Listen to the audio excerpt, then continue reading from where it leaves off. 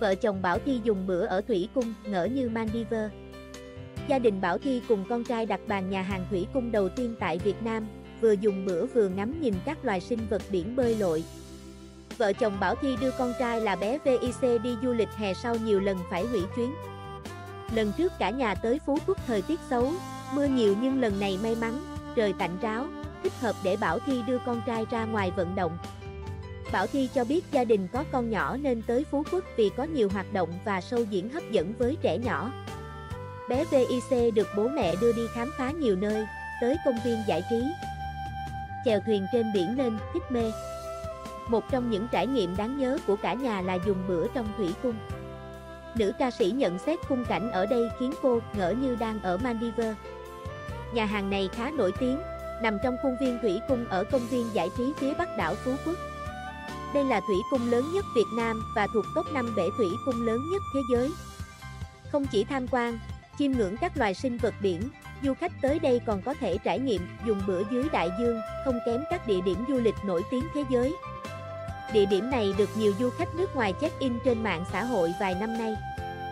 Đây cũng là nhà hàng trong lòng thủy cung đầu tiên có mặt tại Việt Nam với tầm nhìn 180 độ mở ra khung cảnh đại dương. Nhà hàng chỉ mở cửa từ 10 giờ đến 17 giờ 30 phút nên thích hợp để ăn trưa, uống cà phê, ngắm thủy cung. Buổi trưa là thời điểm lý tưởng khi bể cá đón ánh nắng tự nhiên rọi xuống tạo nên những vệt nắng giác bạc lung linh. Thực đơn nhà hàng khá phong phú với phong cách Á và Âu, trong đó được nhiều thực khách review là món bò tảng nướng đá mềm ngon. Ngoài ra, menu còn có phở bò bát đá, set nước BBQ, các loại salad. Chi phí thuộc phân khúc cao cấp, mỗi món từ 200.000 trở lên, hai người mất khoảng 1 triệu đồng trở lên. Ngoài ra, du khách gọi xét trà chiều ngắm thủy cung.